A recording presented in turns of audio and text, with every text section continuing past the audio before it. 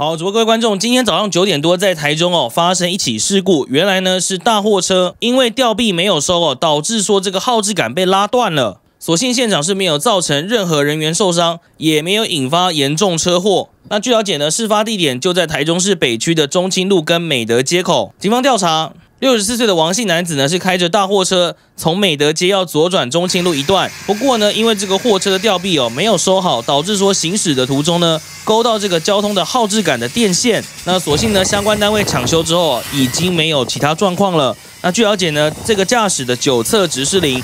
那整个案子呢也透过监视器画面来还原真相。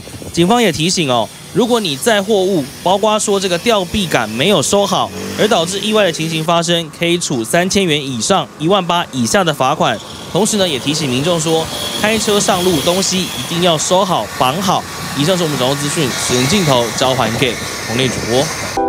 想看最完整的新闻内容，记得下载 TVBS 新闻网 APP。